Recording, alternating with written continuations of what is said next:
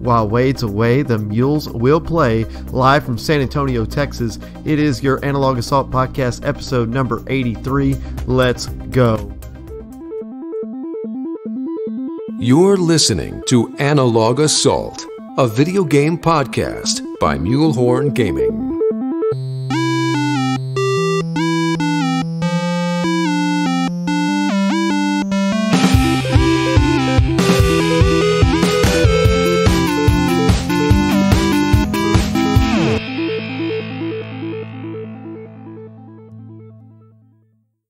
Welcome everybody to the Analog Assault Podcast live here at PAX South 2020.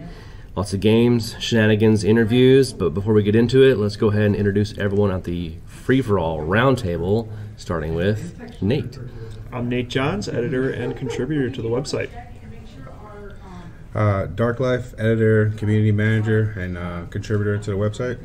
Uh, Lupo to the rescue, uh, affiliate writer, contributor, and guest host of the Analog Assault podcast. Underdog 10, podcast host, uh, sometimes writer. Uh, I guess that's the thing. Yeah, it is now. It is now. Um, and yeah, com- uh, community manager. Uh, yours truly, Thaddeus Prime, podcast host. Uh, haven't written in a while, but I'm probably gonna dust, uh, shake the rust off and get some in I heard a rumor that you were going to start start streaming. Uh, you know, there's a new game out there that has motivated me, so uh, we'll talk about that. Okay. Yeah, uh, Scarecrow Twenty One, uh, podcast host, community manager. and pseudonym affiliate writer for MulehornGaming.com. All right, and our guys. videographer. An for all Yeah. around Weekends. badass cameraman. at the, Yes. the If conference. it wasn't for you, half the interviews would not have gone so smoothly. Aw, Don't shucks, forget- guys. I mean, Don't forget in-house tech node as well. true, true, true. I mean, those developers see that camera and they're like, "Ooh, Yes. I'll have a conversation with you. so please bring that camera over here. I speak geek. What can I say? It's the pheromones I give off. To be honest, it's true. it's true. It's my Can you bottle this up And sell it. and sell it? Sell it at Macy's for Christmas. It smells like G Fuel. Call it pseudonym on G Fuel. Oh, man. Well, speaking of those interviews, um, let's talk about some of our interviews that we've had that were the ones that were, I guess, say the most impression made on you, or I guess the ones you like the most. You can't wait to talk about or talk about and play And write about. and write about. write about. Right about yeah. and A lot of articles definitely gonna be popping up on the website over the next couple of days.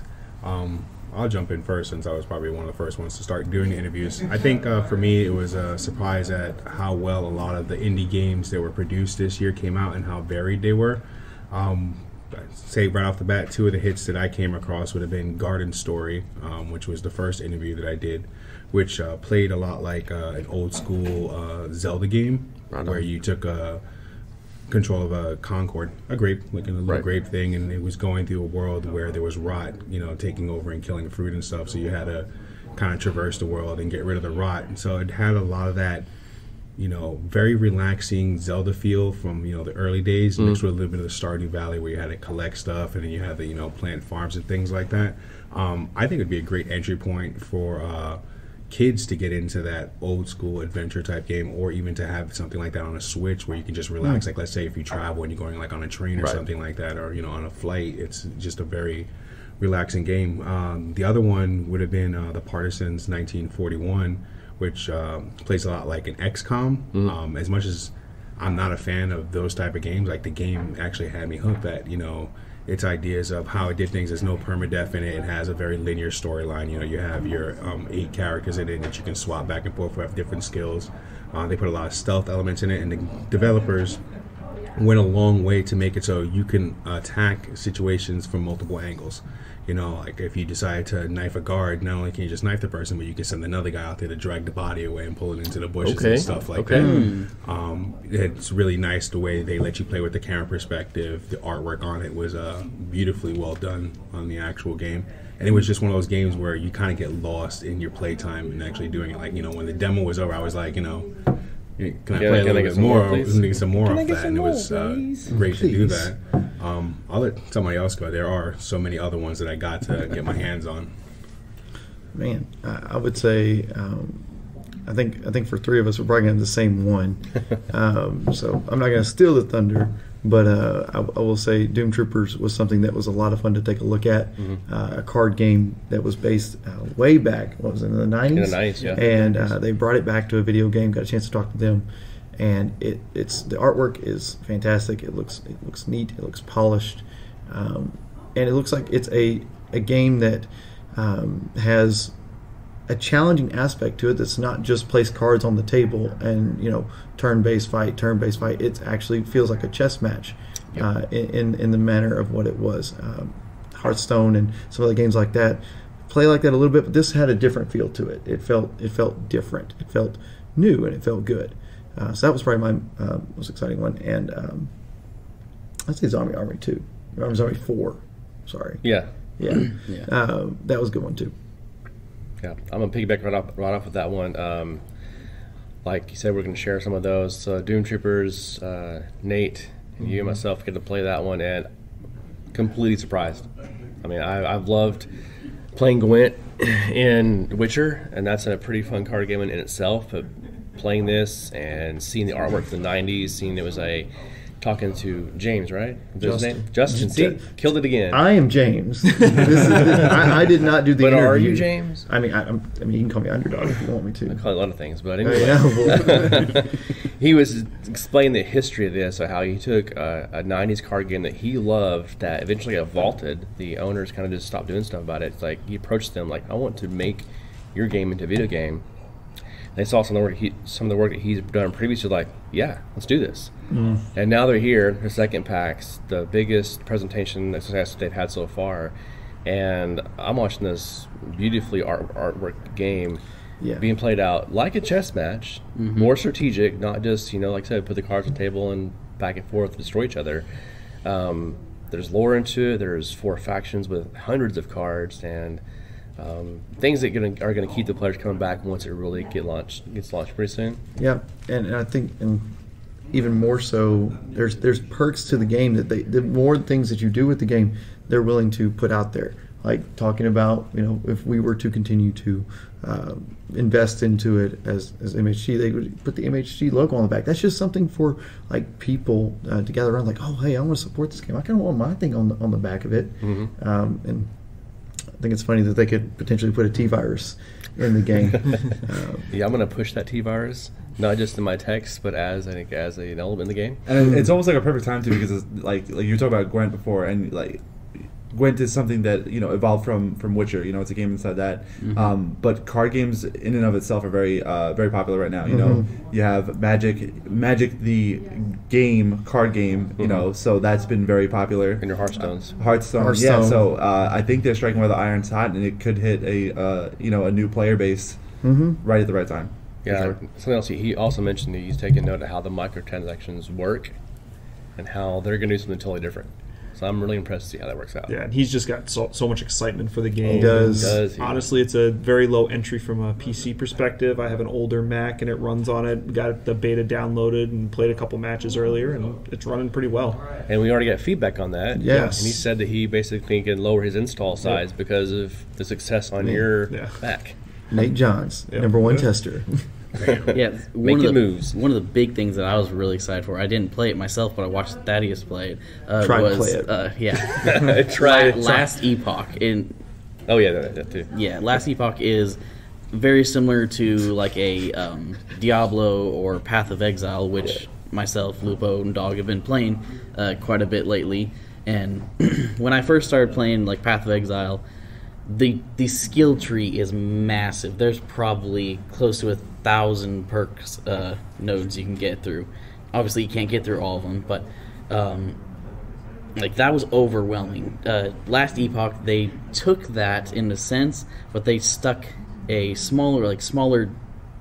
If it, let's say if Path of Exile is a forest, um, last epoch took a tree and put it on each of their skills. So say you've got a fireball skill, there is a branching tree uh, off of that with maybe 15 20 nodes off that and you can make it whatever you want and like there's not just four or five skills there's they have 100 i think they said 110 skills that each have their own branching tree uh, five classes to play. Each of those have um, three like subclasses for like our Destiny master players. yeah. Yeah, Classes, yeah. for like our Destiny players, that would be like their subclasses. Um, and you can change out stuff. Uh, looked really fun. Don't forget the time travel. Yeah, so like for our Diablo fans, um, Diablo players know like we have the rifts where you can go and do these challenges or change up stuff. Um, they've got this idea of it's a one world, but you're going through these time rifts and seeing what it is in different eras. Is what it seemed like. So one cool thing he mentioned is like you can find these uh, crates in one timeline. You can put some of your loot that you've gotten into that crate, and then go to a different timeline. Find the crate. It will be guarded by these uh, boss guys and stuff. You kill them, and you open the crate, and it's different loot. It's that loot, but it is more tailored or tailored to that era's loot. So you can find different qualities of stuff or different just A way to Uh, enhance your weapons. yeah, a way to enhance your gear and I think it'd be interesting if they took that and kind of uh, rolled the dice, like where you can get something Yeah. good or something Yeah. bad, or if, like, let's say you pick up something that's a common or a slightly uncommon thing, and you put it in there just to test it out, and Mm-hmm. you know you get a legendary, or maybe you get just a different variant of you know that time period's common stuff. And all centered around their time travel, which is pretty cool. Yeah. and they were saying that you know they were talking about the skill trees. They were like, oh, I don't know if we can do that. I don't know if that if we can manage that. But they said the next day, forget it. We're going to do it. Yep. You know, we're we're going to we're going to break down the walls. We're going to try to do things that you know that are been in games, but do them a different way that makes it unique, makes it different. And I think the the hundred different skill trees. I, I think it, the forest is is a great way to explain it. Path of Exile. Whenever Lupo showed me the skill tree, I about fell out of my chair. I didn't want to touch it for the first like two weeks. I'm like, nope, that is too much for me. Yeah, it's information overload. But now you break down those skill trees now to be something where I can play how I want to play in this skill tree and make it unique, make it my character. And that's something that I think a lot of people will like. Customizable on top of customization. Yes. Yeah. Yes. Double custom. And make farming great, make things like that great, makes it really good. And speaking of like, like skill trees and customization, one, one of the one of the folks I got to talk to and, and play out uh, was the uh, um, the game Everspace Two. Uh, so it's uh, um, it's it's a space sim sort of, and so essentially it's it's kind of like an arcade type game where you're, you're flying your ship, and and so how it's evolved into its, its current form, it's um, it, it's it's gone from kind of just like um, getting skills, you die, you start over, and you, you, you go on. Where you, it's more of an RPG um, setup where you have feats, you have armor, you have um, different weapons you can equip over time. Um, you can specialize or, or customize for specific missions that you know, and you know, you, if you die, you don't have to, you know, go back and, and just work your way forward again. It's, it's Yeah. but it still has kind of like a like a souls-ish element to it, where okay, well, you, you, you die, um, but you can work your way back to where they are, and, and most of the, the stuff that you were carrying that you hadn't stowed is is still there. But I mean, it, it, it was a blast. Like me and Snake were playing it, and it's um, yeah. I mean, it's it, it's it. I mean, it's it's it's probably the most fun I've had with like uh you know like a like an arcade type space shooter. And it's since- gorgeous. Yeah, Yeah, it I looks was- fantastic. it was so good. Like imagine like Wow. if like Elite Dangerous and Space Invaders had a baby. It would like scale that up. It looked so good. It was fun. It was an absolute blast. like per- personally, I didn't play a lot of games this uh, this PAX, but I, I did observe a lot, and uh, that was one of the best looking games that I saw here was Everspace Two. Yeah, it was man. It was so much fun. Well, speaking of good-looking games, um, Ghost Runner from 3D Realms, Yeah. gorgeous Oh looking, gosh. cyberpunk, almost like a first-person view of Genji. Um, That's Yeah. exactly what Yeah, jumping We were sitting there watching you play it, and I was like, "This is kind of like a single-player Genji well, simulator." the voice in that's talking to me sounded like Genji. Oh, did I'm it? like, whoa, this is crazy. but you're wall jumping, slicing, doing a little time uh, shifting, and for players who aren't good at jumping, you're dying a lot, and that's part of the game. You die, you kind of start over that checkpoint every single time. Mm-hmm. You got to So- find ways to take out people quickly without getting hit, so you can actually progress to the next checkpoint. yeah, and so what I was, what, Yeah. Did you, it. thor- did you thoroughly test that? I want to make I sure. did. that- And so He the- did, and I have the There's so footage to Put it on the record there that it, it's correct six me if times I'm in a row. wrong, T. Like, you take one shot and you're dead. Yeah. but everything else is one shot and they die too. Exactly. So it's a fast pace, but then you use that time slow to Yeah, time avoid shift, yeah. bullets and stuff. Jump around them, get them in the back. It was it was it was, it was a lot of fun to play. I Did mean, you ever play the Matrix video game on PlayStation Two? play? Yeah. No, but I Enter watched the some. Matrix. Is it it so- yeah Enter the Matrix? Is it sort of like the, the time shift feel like a little bit like that? No, or it's almost um, Max Payne from Yeah. watching. Okay. it. Yeah, So you that, okay. that, Yeah. that brief second of pause where you can, you know, readjust your readjust your okay, trajectory and stuff like that, Yeah. and then move out of the way.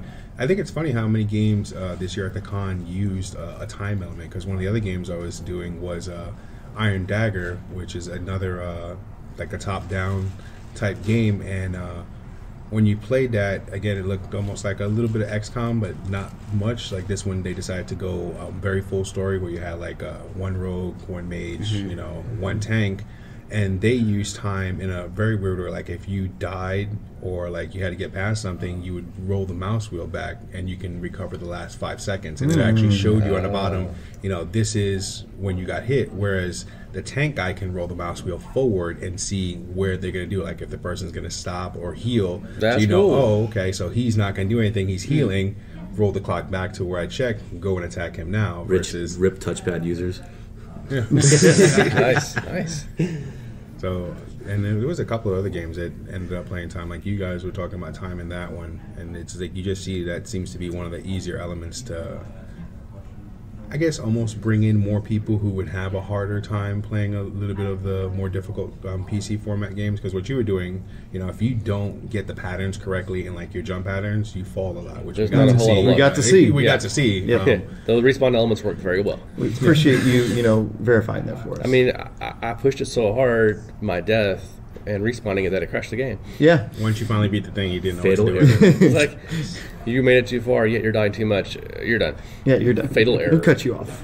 oh man, I think there's there's one more thing that kind of was interesting that got to happen this week, and Lupo got a chance to you know be a, a voice for Mixer uh, this week. Yeah, that- that was definitely an interesting experience. You know, so um, a few weeks ago they, re- they reached out and said, you know, how many of these partners want to um, sit at the booth and, and kind of just represent Mixer and um, kind of explain to the, the general public or people that were interested about what Mixer is um, and uh, answer their questions. And uh, that was uh, yesterday. I did that for about an hour yesterday, and uh, it was it was an eye opening experience. Number one, to see um, how many people are just interested in what's going on with Mixer and um, their genuine curiosities beyond the fact of just saying, is this just a, another Twitch? You know, like is, is it Twitch Light or is it you know the is it the Coke to the Pepsi or the Pepsi to the Coke, whichever way you want to look at it. Um, so so having those those conversations uh, with people was was fun and it was nice to meet other people that didn't know. Like like for me, I feel like Mixer is just super accessible. It's on every Xbox in America. You you you see it. It's just right there, but people honestly just don't know. So it was nice to have a fresh take as opposed to the people already having assumptions, you know. So educating from the ground up as opposed to denying things that uh, people already have, you know, the ideas that people already have. So that was that was really fun. Yeah, I mean, I think that was that was great. The, the stories that you shared with us were were great uh, things, and and hopefully that more people will come to Mixer and see, you know, the great content that's there, and uh, things like that. Uh, so, I guess one more question for everyone: What was your just? Uh, we know the games that you played, but what was your favorite moment about PAX? What what makes you just love PAX? I know for me, it's just being able to see everyone. I I think that's kind of this, this might be a, Yeah. a mundane response, but I think it's true. And getting to see people out of the headset element, you get to see people live and get to have conversations I uh, feel like we with missed people. Nate. I was about to say, Yeah, we, uh, mi- we missed Nate out before we go into the closing. Like, wait, wait. Oh, I'm Mr. sorry. Johns? I'm sorry. You had some, uh, you know, tabletop- that's all right. you had some well, experience, didn't I you? mean, Yeah. you could, you can, uh, you know, yeah. Don't edit. There, there's a lot of things I forgot this week, so That was yeah. uh, underdog, by the way. No, yeah, we're about to underdog ten. Screw up. So yeah, outside of uh, Doom Troopers, which was a lot of fun, and being able to even get into the beta and talking to the dev for that, um, a couple tabletop things. There was a whole indie showcase for tabletop top games, and I looked at one Gladius, which is some gladiators. You know, betting on gladiators, trying to influence them, almost Hunger Games esque, where you're Okay. outside of it, trying to influence what happens and, see, and win money and um, basically get the most money. Another one, Mantis Falls, which is s- they call it a sometimes cooperative game where it's you're either a witness or an assassin to um, and but you don't know who the other players are. So you're trying to navigate basically a night because you saw something, even if you're an assassin, and need to something that like the mafia back in the 1940s wants you to take you out. So they've sent potentially an assassin. You don't know. Um, sometimes there is, sometimes there isn't. And just talking to the devs, devs with that, they wanted something that's very cooperative, mostly. Um, so you have to work together, think strategically. You can't just be like in, you know in a pandemic, which is a cooperative game, where you you usually have somebody just kind of take over and do everything. Um, this one, they wanted to have a truly cooperative experience so they can talk to it. And I'm excited to see that, which will be Kickstartering later this year. So I'll hopefully get a copy of that to review and Right play on, through right and uh, talk to them. Speaking So- of cooperative, before we also go to um, Underdog's closing statement, um, but including you as well, and uh, you guys also played um, Zombie Army 4. Yes, even though it was on a PS4 controller. That was crippling. Uh, that was a little difficult, and us playing Switch a lot this week, like like Crow was saying earlier, our, our controls are just all sorts of jacked up. Um, but Zombie Army Four was really fun. Um, you know, even though Lupo or not Lupo, sorry, uh, uh, Thaddeus and I didn't get a chance to make the fifteen thousand cut. Um, you know, I, I had a higher score than him, but that's okay. You did. You did. Um, I'm a gracious man. But uh, it was fun. The, the guns felt good. Yes, they did. um, Yeah. The power ups felt powerful. I love the replay shots. Like, Yes. You hit like, you hit like a the, wild fir- shot. the first shot I fired, it's like slow motion. I'm like, what the? Oh, what's this is cool. This is amazing. Yeah, I, it, it was it was fun. It was an enjoyable experience, and I, I know it's two player co op.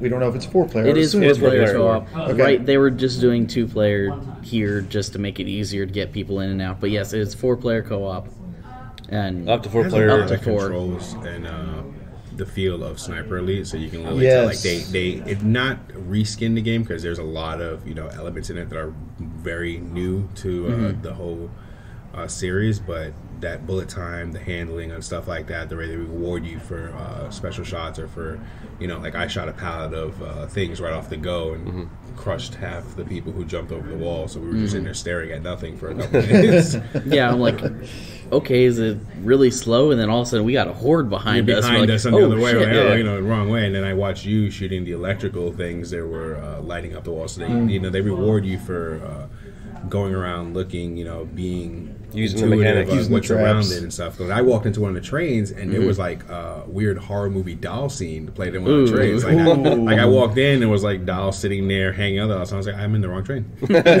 to leave. So it's like a Left 4 Dead meets Sniper Elite with some Yeah, very that's, Yeah, that's, had a- probably, Yeah. that's probably one of the best ways to I say had a it. lot of Left for Dead vibes from it. I mean, I know this is the fourth game, but like the older ones came Yeah, out a long time ago. It's been a while. Yeah, I can't even remember, really recall them much. Yeah, they I were kind back of feel like the, every every time they did uh, a sniper elite, you would see the the zombie army one kind of Yes, follow a it would be in afterwards. They line with the the, with the studio, production. so, yes, yeah. that is very true. But yeah, this is the first one I've touched at all. But um, I'm really liking it. Might actually pick it up. Yeah, I think it's something worth worth looking at. I will say, you know, I do give that it's a hard time. He did save my butt a few times.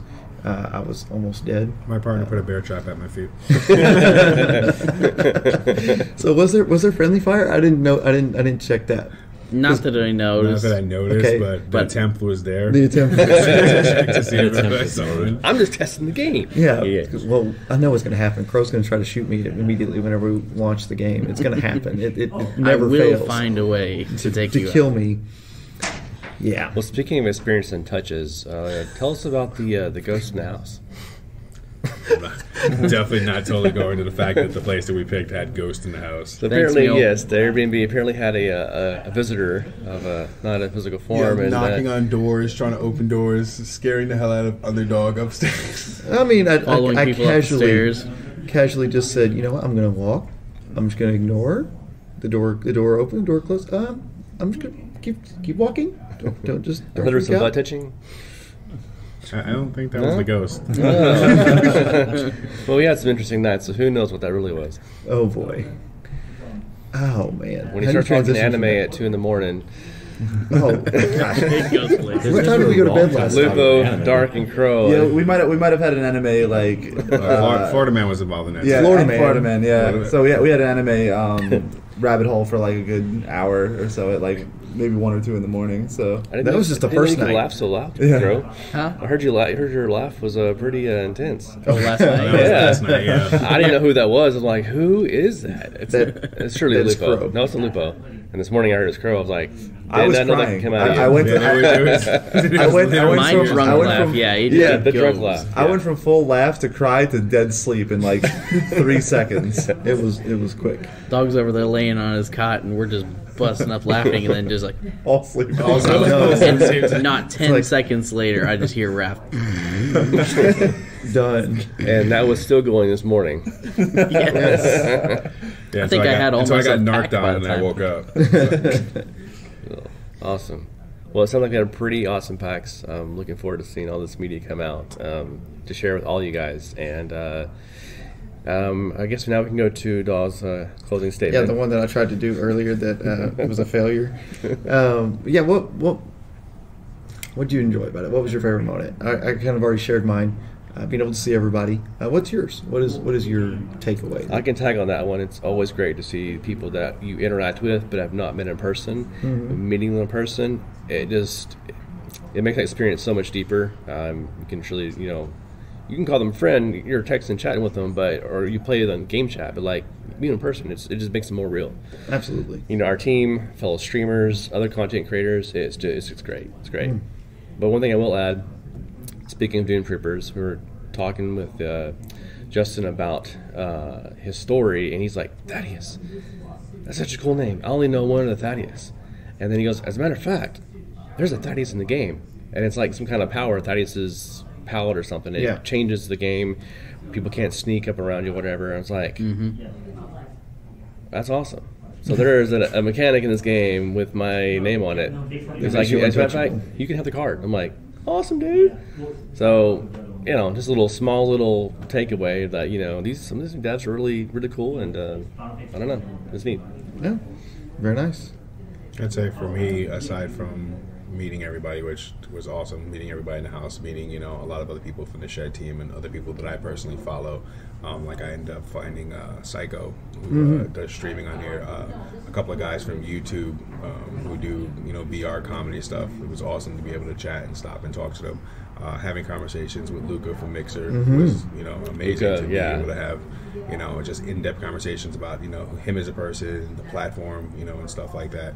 Um, it was literally just seeing the developers as they responded to how people respond to their games. Like for me, that was awesome to see. You know, as a person who had gone to school for that, you know, to see like especially you know talking to the guy with the the two man team where it was like the. I, I wish I Eduardo. remember the. Yeah, Guardo's adventure. Like you have one dude who hand draws the stuff, loads it into the computer. Like Wow. the game was hand drawn, and the other dude programs. like That's- that's that's insane. Yeah. the game was beautiful. You know, talking to um, Jenny when I did the garden story thing, and you know, seeing them light up, seeing them be like, you know, look how these people are laughing, having them take you know the feedback there. You know, you guys gave feedback um, to a bunch of developers. I'm sure we did. I'm sure they got tons of feedback going on, and how they handle things like that was probably one of the best experiences for me. That's awesome. Next. Anybody I, else? I'll echo. I'll echo what everybody else said. You know, um, PAX South is the people packs. You know, it's it's it's a little more low key. Uh, things are spaced out a little bit more. There's, there's more room to, to move and, and kind of uh, congregate, so you can uh, you have a conversation with people and, and connect. Yeah, get per, get personal. However you want to take that. That um, but for me personally, like. Uh, this is my first PAX as a tenured partner. Uh, East, I had just been partnered for maybe 10 days, uh, two weeks. So, um, getting to take those opportunities to to do what I do, like I want to become a partner to make a difference in uh, in the industry and to make a difference in other streamers' lives. Uh, and, I, I feel like that I was actively able to make that impact today, or at least you know my time here with people on the floor. So that was that was a huge thing for me personally, um, and just being able to being able to see everybody and meet new people and put put uh, faces and voices to name. Like uh, for me, something that is weird is possibly hearing somebody's voice, seeing a picture, and not knowing how the, the words come out. You know, so being able to put those together is uh, is something that I mean, you had a run at with ease. Dado yesterday. Yes, I did. I, I did get to meet Dado yesterday on the floor. I, I saw him randomly. So I was talking to another another partner. Um, it was his first pack, so I went out of my way to talk to him. His wife does actually does my graphics. So uh, I was talking to him, and then all of a sudden, like corner of my eye, I saw Dado. I was like, "You're Dado. What's up?" So I, I just did that. Like I'm not I'm not the you know. There was a finger point in there for, for all the people. Yes, can't see I, I did. I did. I going did finger point. You you can't. you Dado. You dado. but like I'm not, I'm not the type of person to make a big spectacle about things and do all the pictures and everything like that. But I just want to say thank you because like I wouldn't be a content creator without people like Dado and Dr. Lupo. Like I know he's on the floor today, and I might try to find him at some point and say Ah, hello okay. again. I'm So we did you- Gotta get a photo Yeah, op I gotta together. Okay. photo of that. So we, we might try to do that. Nice. Cool. Yeah, to kind of carry on to that. So, like one of the things that I really enjoy about about PAX is is finding people that have the same passion to talk to you about what they're involved in, what they're doing. Because I'm I'm a storyteller. I just like finding people and listening to them and, and just getting them to talk and, and hear what they have to say and kind of package that up and, and kind of help share that. And and you know, PAX is such a ama- like an amazing forum for that. There's you know obviously there's there's tons of folks down in the expo that yeah they've got something to sell and, and but for old, but for the vast majority of them it's not just it's not just a job um, just because the the indie presence at PAX South is so Yeah. huge. So like these are all um, labors of love that they've put you know tons of work into. Whether it's they've done hand drawn animations or you know this is a project they've been carrying for years, and so to be able to give to, to find those folks and to you know shove a microphone in their face and and and, and hear their story and kind of uh, you know take that and, and share it with the community is, is something that I always look forward to. Awesome. Yeah, I'd agree with that. You know, again with uh, meeting everybody in person, first PAX this year, so first time meeting all of you guys, which was a lot of fun. Um, and uh, you know, talking to all the different developers, whether it be for tabletop games or for you know the video games, just seeing their passion and how excited they are that people are interested in their game and things that they're working on. Um, and just making that connection with them to then maybe follow up and keep promoting their stuff when we like it too. And so, yeah, that was probably some of the best stuff. Yeah, me. I mean, food. The, that barbecue. Oh, oh, I'm I so didn't even glad know you guys got to I'm try glad that. I got to try that. I'm so happy for you guys. Yeah. They, so brought, they brought out the meat wagon, if you will. Yeah. Yes. We literally had a thing called the barnyard platter. It oh was my God, it was so amazing. good. it fed all the MHG guys. Like a two by and twelve plate. Still had like it, there was a full like maybe twenty inch by ten inch platter of meat, and then we had like three or four skillets of other things. There's pics on Twitter of this, are there not? Yes. Yes. Oh, Yes. yes. And Go check it out. check out the Twitter. Plenty of discords are covering what happened with uh, the foods there. That cream corn, man. oh, those Yes. beans, bro. Beans. The beans. Yes. Oh my Potato God. salad. Oh, the asparagus. I ate Too. vegetables. You did. Yeah. You Yeah, did. you You did. did. They had some good asparagus. Yeah. Yeah, I, that was phenomenal. Food. Yeah, but yeah, getting to meet uh, like meeting Raph for the first time or Dark Life for the first time, Nate for the first time, uh, ran into who else? Uh, Joe. Average, Average Joe. Joe, He's one of our community members and did not expect to run into him at all. Did not expect him to be the guy he was. Like you never know how think- tall don't a guy he is real- in like, person. He didn't too. really know who anybody was, so like he saw my partner hoodie and you know has my name on the back. He just grabbed me and then it was just like kind of hanging out with us for the rest of the weekend. Yeah. So Uh, that was really cool. Rubric with us, and Yep. you know, Rubric. definitely Yeah. a fan of uh, Getting to meet Snake. Doctor for the first time too in person. Like Absolutely. when I heard that he was coming down, I'm like, really? He's flying all the way down from big old white north? Uh, I think uh, to seeing Poet Invader too as well. Yeah. Uh, I think that was also really good, and seeing some of the Shed people. Always good to see them. Any any closing thoughts before we move on? No. All right. I, I'll, I'll throw one closing thought out there. Um, one of the weird sentiments that you hear from uh, people on the floor was, "Why isn't there more uh, AAA presence at these?" I don't think PAX needs it, especially this one. I think the like you were saying before, this is more of a you know the people PAX, the indie type PAX, and I, I think it should stay that way. You know, for what it is. Yeah, Yeah. I, think I think it definitely there's a there's a lot of people here. Like I was telling Nate the other day, for what it is that even though there may not be a huge presence of AAA here or big time games here, the people still come. So it's always it's always good. So you can uh, you can find us on Twitter. You can find us on uh, Instagram. All that good stuff. All the all the socials, Discord. Check us out at MHG, Analog Assault Pod, Analog Assault Podcast. Um, when- Wargaming.com. Thank you. I forgot one. Uh, and remember, when in doubt, blow it up.